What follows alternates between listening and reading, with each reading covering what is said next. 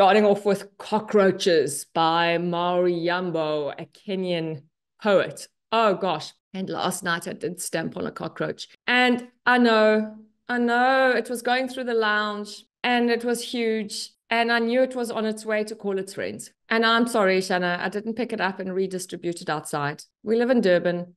These things are a pest. And I, I squashed it. I did stamp on it. And I thought about the poem and I felt bad. And so I went and got toilet paper and I flushed it down the toilet and it is gone. Cockroaches, there they are scurrying. And it's interesting that Mauri Yambo, to make a point about this creature, which obviously, like any creature, has an important role in nature, in the ecosystem, in terms of breaking things down, etc. But in terms of human homes, is considered a dirty pest that spreads disease, etc., and something that gives people the chrills, right? But could have done, could have used, I don't know, spiders and any kind of pest. Why do you think cockroaches was used? Because they're ugly. Humans think they're ugly. I'm sure cockro- other cockroaches think they are gorgeous. All right, because because because we do have that thing. Why else? A lot of people have a, a visceral horror of them.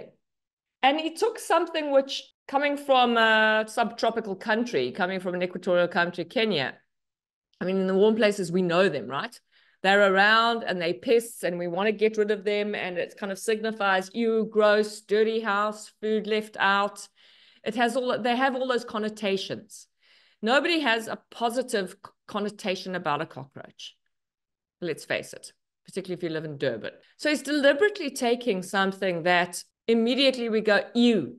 We just hear the name and see them, right? Get the doom. And then he does this.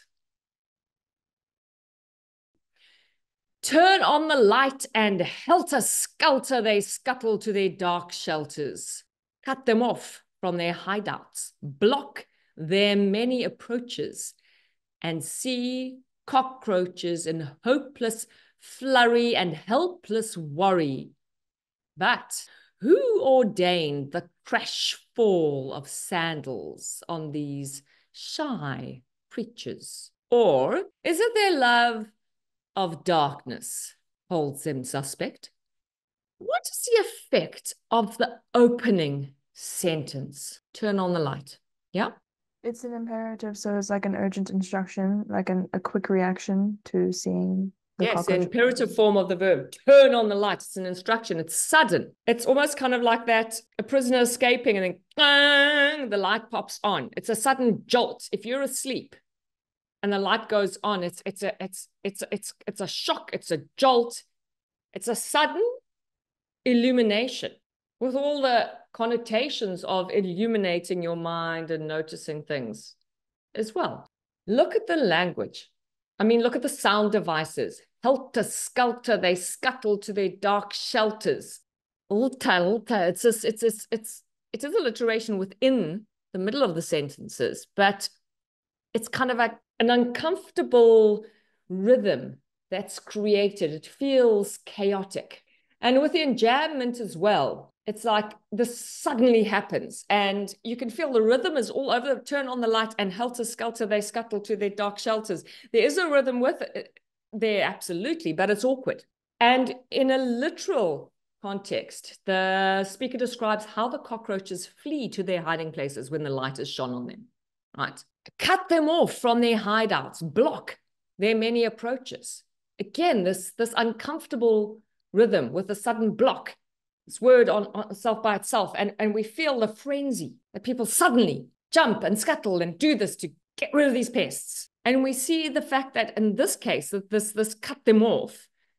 Yes, it's the imperative form uh, as well. So it's it's it's both instructing somebody to do this as well as saying this is what we do, this is what humans do. So not only are we sending them off to their dark shelters, but then we're stopping them getting into their safe places and see cockroaches in hopeless flurry and helpless worry. Those adjectives, those adverbs, well, adjectives actually, because flurry and worry are, are, are nouns, really start to beg sympathy. Hopeless and helpless. He is humanizing these creatures and making us feel sorry for them.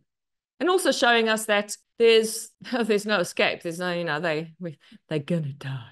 But hopeless and helpless are human qualities. Okay, so again, on a superficial, literal interpretation of the poem, the speaker is observing the frantic and helpless movements of the cockroaches when they're disturbed.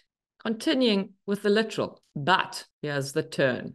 Who ordained the crash fall of sandals on these shy creatures? What does ordained mean? When do we usually hear the word ordained? So ordained means to allow something to happen, but but who gets ordained? What human jobs require somebody to be ordained? Do you know? Priests, ministers. That's how they become priests or ministers. They they they get ordained. All right.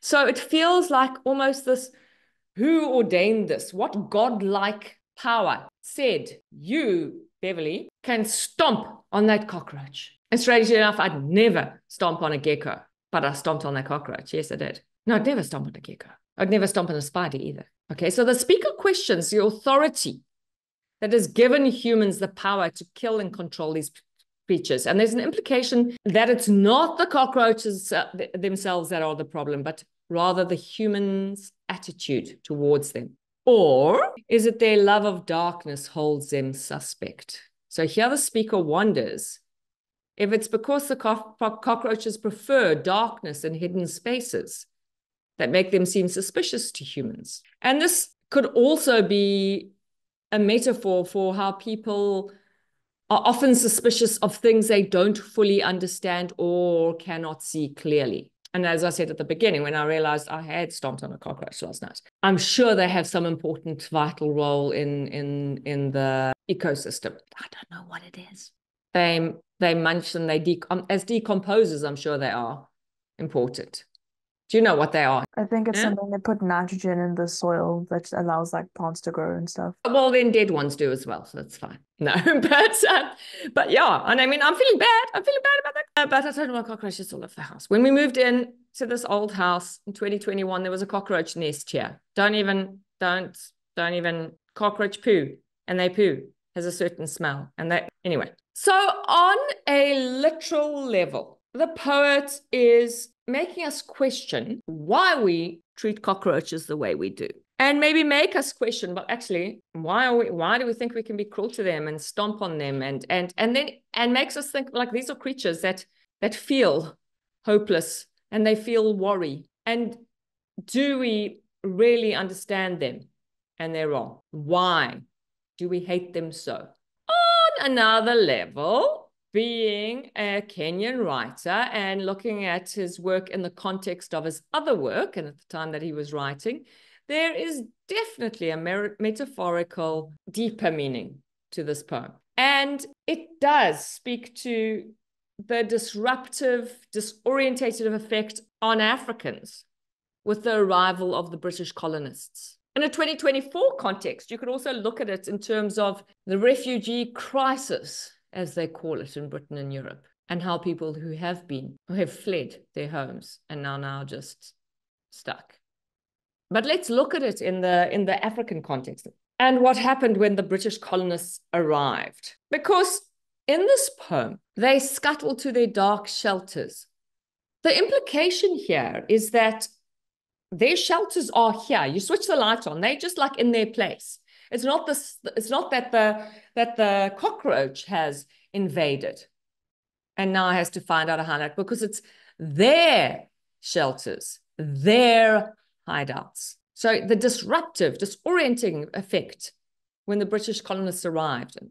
Okay, what the heck? And stanza two captures the aggression of the colonial law, the laws that they just bring and, and allow the, the colonists to, to, to take the land, forcibly relocate entire tribes to different regions, and then cut them off. I mean, he's not a South African poets, but think about what happened in South Africa in the 60s with the forcible removals and the dawn passes and everything restricting people's movement. In the 17, 1800s, that was happening all over Africa. And it's like, no, sorry, you can't live here anymore. There's going to be a mine or a farm or whatever else. People were moved to different regions, cutting them off from their ancestral countries, blocking their escape routes, you know, with no knowledge of any kind of tribal war or whatever. People were just being relocated into places where they were then left with people who might have looked like them to the colonists, but were sworn enemies.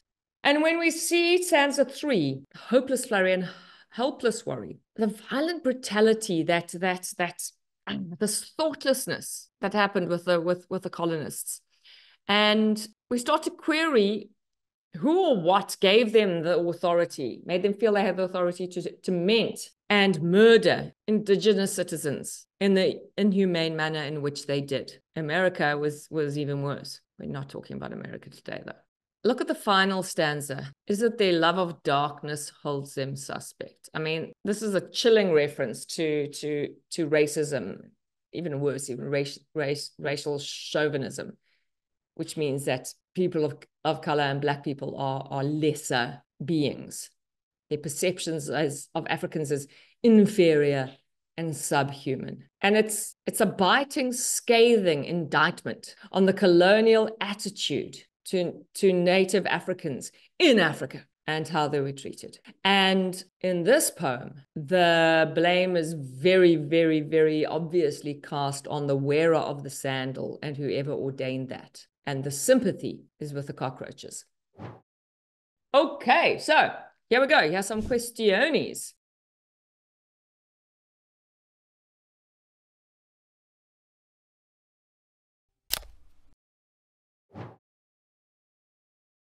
Group one, let's hear your answer. Critically discuss the way in which the poet has effectively used enjambment to establish tone in stanzas one and two.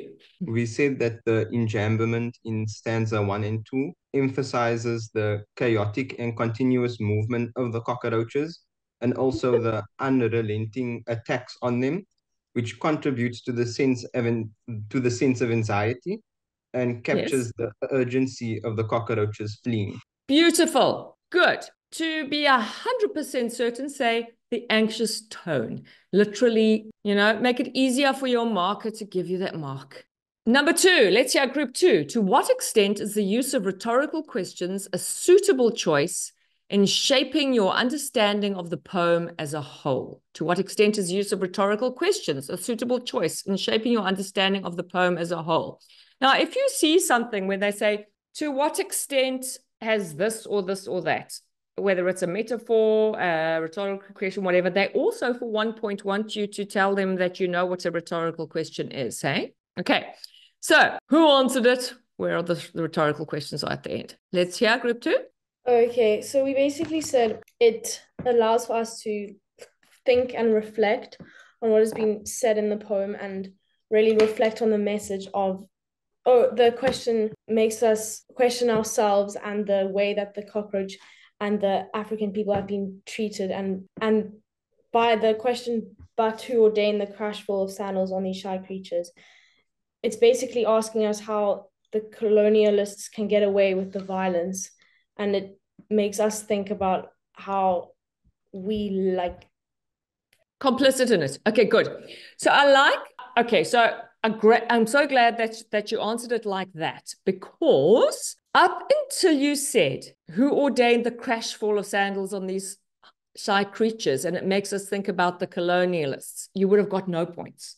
Even though me as a marker, listening to you, I'm going, Les, she, she absolutely understands and she gets it. But in your answer, you could have been talking about any rhetorical question in any poem, because any rhetorical question makes us question things and wonder about ourselves in context of the meaning of the poem, right? So that's where so many students who actually know it lose their marks. And if your teachers ever say to you, be specific, right?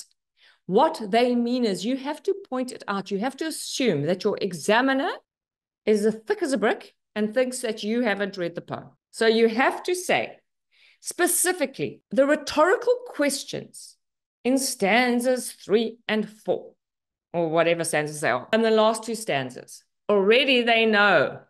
The last two stanzas pose a rhetorical question. Oh, good. Tickety tick. The student knows what a rhetorical question is. Okay. Make the reader question if they are European, their attitude towards not only cockroaches, but also towards Black Africans. The last stanza, the rhetorical question, makes the reader question the, the European or the colonial racist attitude that a lack of understanding and purely based on their race and the darkness of their skin, people are suspicious of. This poem also works on a third level, on a kind of like a meta-conscious level.